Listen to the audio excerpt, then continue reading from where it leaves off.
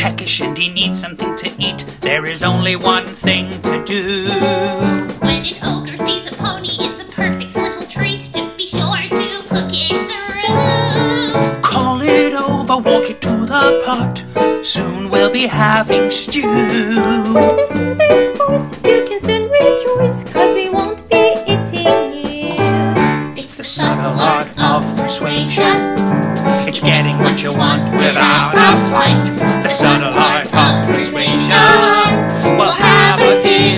Dinner cook ourselves tonight. You and me will be our family without anyone breaking a sweat. With the subtle art of persuasion. Whatever you want, you can get. Luke, Is that?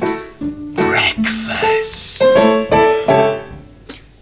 when an ogre's feeling peckish and he needs something to eat, there is only one thing to do. Be sure to cook it through. Scoop them up and put them in the pot. Soon we'll be having stew. With your smoothest voice, you can soon rejoice, Cause they won't be eating you. It's the Subtle art of persuasion. It's getting what you want without a fight.